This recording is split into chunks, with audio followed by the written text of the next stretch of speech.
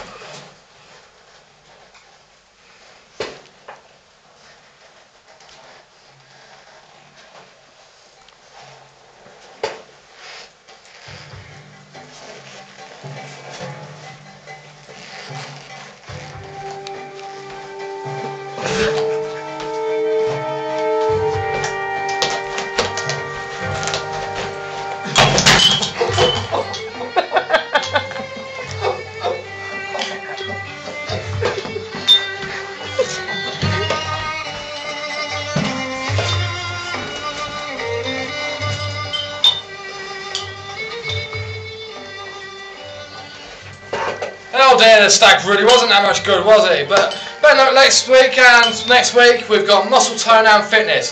Thanks for joining us once again, boys and girls, and hope you come back next Saturday. Thank you very much, and all, uh, all out from Barry's Dance. Thank you and goodbye.